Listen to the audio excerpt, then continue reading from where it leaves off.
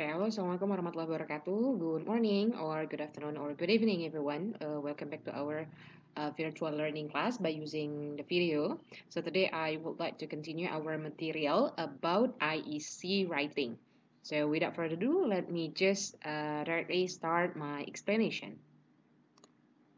Okay, uh, we will continue still about essay, everyone. So if you still remember the last two meeting, we have learned about uh, essay but for pie chart and also bar chart ya kan? Nah this meeting we will learn focus uh, our uh, focus of essay will be about opinion essay.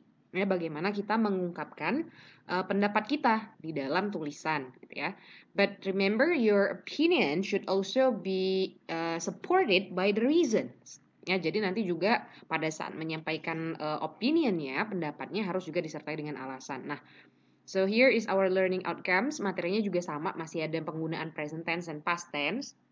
And how you can use the correct vocabulary ya. Bagaimana penggunaan vocabulary yang benar pada saat menuliskan uh, esai pendapat ini. But before that, let me see first the next page. So here is vocabulary exploration.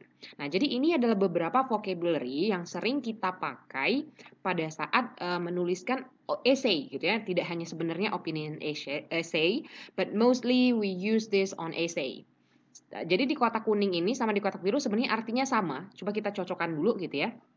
Start from the first today. Kalau today mungkin tahu semua ya artinya hari ini.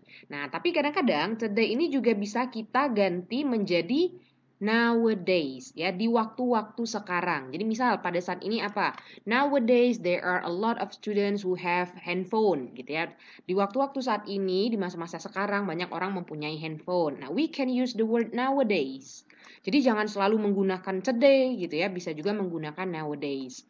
Or the second one we have firstly, pertama-tama. Nah, biasanya kalau misalnya pendapatnya banyak ada urutan-urutannya. Nah, biasanya pertama kali kita bilang firstly, pertama-tama atau we can change the word firstly into first of all. Bisa juga firstly, bisa juga first of all. And then also juga Ya, kalau misalnya pendapatnya mau menambahkan gitu ya, if you want to add something, you just can say also or we can also use in in addition ya. So in addition sebagai tambahan atau you can also use also nah apa gitu ya. Misalnya pendapatnya mau kalian tambahin lagi apa gitu. And then we also have I think that. Nah, ini biasanya paling sering nih digunakan pada saat kita mau menyatakan pendapat kita.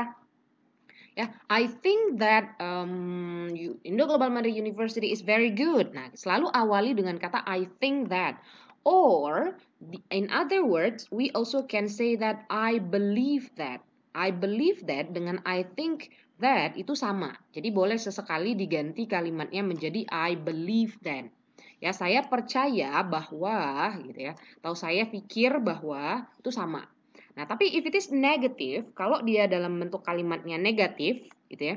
Kalau ini I think that, kalau I don't think that, saya tidak berpikir bahwa, nah itu we can use the word I disagree, ya. Saya tidak setuju. Nah, you can use the word disagree. Actually, nah sebenarnya, berarti kalau ngomong sebenarnya we are talking about the fact, ngomongin tentang fakta. So that's why actually can be changed into in in fact pada kenyataannya ya. So you can use uh, actually or you can use in in fact okay? And of course the last one terakhir udah pasti dari semua essay gitu ya. Bahkan sebelum-sebelumnya we have known when you want to close your writing kalau mau menutup uh, tulisannya we use to sum up. Nah boleh juga to sum up ini diganti dengan kata in conclusion Ya, boleh to sum up, boleh to uh, in conclusion. Nah, so you all already know about the vocabulary. Now let's go to the example. Ya, kita lihat contohnya, lalu kita akan analisis uh, contoh dari opinion essay ini dan juga ada tipsnya. So let me read for you first. Katanya, are video games are a good uh, are video games a good way to keep fit? Nowadays, many teenagers have got video consoles at home and they often like playing active video games. These are good for you for a number of reasons. Nah, jadi dari kalimat ini kita sebenarnya udah tahu bahwa di paragraf pertama kita harus apa? Iya, harus menjelaskan hal-hal yang umumnya dulu. Ya, so this is the introduction. Jadi perkenalannya dulu, ya kan? Karena kan sini topiknya uh, apakah video games itu adalah cara yang tepat untuk kita tetap sehat. Nah, di sini dijelasin ya bahwa saat ini anak-anak suka main video konsol di rumah, mereka lebih suka uh, bermain video games dan ternyata ini bagus untuk Anda untuk beberapa alasan. Nah, berarti dia setuju nih di sini. Langsung disampaikan. Kalau kalian setuju berarti ya these are good. Kalau misalnya tidak setuju dengan judul ini ya berarti these are not good atau these are bad for you for a number of reason. Jadi di paragraf pertama sudah disampaikan pendapat kalian itu lebih kepada setuju atau lebih kepada tidak setuju. Nah, so that's why on the second paragraph di paragraf keduanya dia uh, menuliskan kembali seperti ini. First of all, I think that active video games are a good way to keep fit. There are lots of different types of exercise you can do such as basketball, water skiing and dance and what's more, you can play them in the comfort of your own home. In my opinion, these games are fun and interactive because you can play them with friends and if you play online, you don't need to be in the same place as your friend to play. Nah, jadi sini lihat di paragraf pertama ya dia menggunakan ada keterangan kuning ini nih, ada tipsnya. Katanya Write your essay in clear paragraphs. Use phrases like first of all, in addition, and to sum up to start each paragraph. Jadi gunakan kata first of all, ada in addition gitu ya, to sum up yang tadi yang kita pelajarin di vocab tadi sebelum ini untuk mendukung gitu ya. Jadi pertama-tama tulis dulu, lalu kalian bilang pendapat kalian. Nah, menurut saya Nah, maka ini adalah penjelasan dari yang pertama tadi. Menurut kalian kenapa? Lalu ada lagi nih, in my opinion, berdasarkan pendapat saya, Nah, jadi di paragraf pertama adalah tentang pendapat kalian. The second paragraph ada tambahan in addition. Nah, sebagai tambahan, katanya you can play them whenever you want. Some people think that it's better to do ex exercise outside in the fresh air. Although this is true, it is actually difficult to play outside when it's raining or very hot. So video games are a good alternative. Nah, di sini ada catatan katanya express your own opinion using I think ya. Kalau mau menyampaikan pendapat kita gunakan kata I think atau in my opinion or I believe. Nah, dan juga katanya mention other viewpoints with phrases like some people, ya, some people think and say whether you agree or disagree with with them. Jadi selain pendapat kita nih ada kata I think, in my opinion, I believe that. Di paragraf 2 juga masukkanlah pendapat orang lain. Ya uh, point of view orang lain katanya. Viewpointsnya orang lain pendapatnya orang lain. Nah di sini dimasukkan kalau menurut orang seperti apa. Nah setelah itu bilang kalian setuju atau tidak dengan pendapat orang lain yang tadi ya jadi pertama sudah mengomongin pendapat kita di paragraf kedua ini tambahannya menurut orang seperti ini. Kalau misalnya tadi ini ya dia bilang kan uh, dia setuju nih uh, kalau video games itu keep fit. Tapi katanya some people think that it is better to do exercise outside. Lebih baik langsung uh, olahraga saja di luar. Orang-orang pikir gitu ya. Tapi dia tambahin lagi nih although this is true meskipun benar it's actually difficult to play outside when it's raining or very hot. Ya kalau kalau uh, susah gitu katanya. Kalau hujan kalau panas. Jadi video games itu tetaplah alternatif yang baik. Jadi dia sebenarnya tidak setuju dengan kalimat orang-orang. Jadi ditambahin. Menurut uh, orang bilang orang bilang seperti itu tapi dia tidak setuju. Nah, terakhir di paragraf terakhir udah kebaca semua dari awal ada kata to sum up. Ya, berarti kesimpulannya.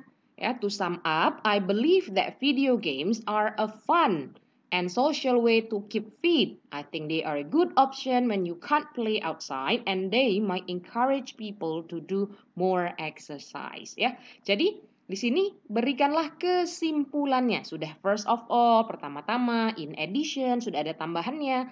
Maka ditutuplah dengan kesimpulan. Kesimpulannya apakah kalian percaya gitu ya I believe or atau misalnya uh, apa kesimpulan kalian percaya atau tidak gitu ya video games itu seperti apa? Karena judulnya dari video games ya. Alright, kalau dia nih dia setuju bahwa video games are a fun and social way to keep fit. Nah I think they are a good option when you can't play outside and they might encourage people to do more exercise. Jadi dia teratur nih ya untuk menuliskan essay opinion. Start with introduction, lalu first paragraphnya your opinion, second paragraphnya nambahin other people opinion, and the last one you have to sum up, you have to give the summary, gitu ya, berikan uh, kesimpulan dari apa yang kalian sampaikan di paragraph 1 and 2. Okay? Oh well, so this is the example that I have explained to you. So you have your own exercise. Sekarang latihan sendiri nih ya.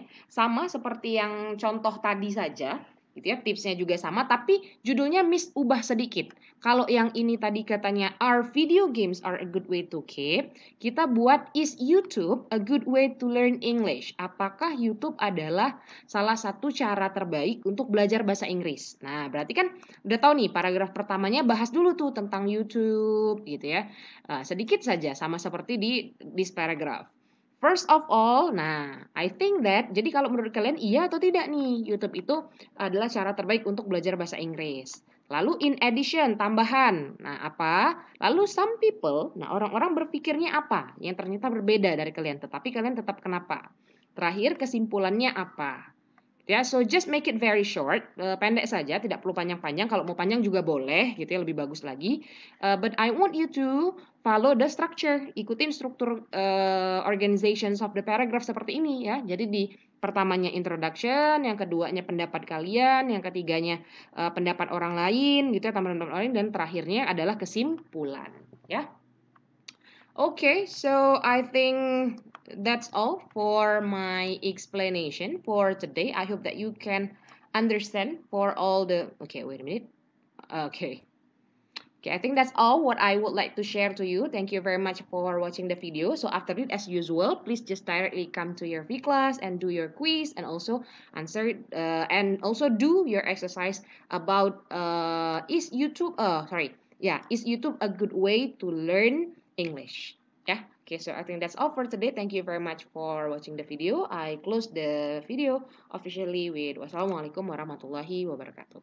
Bye.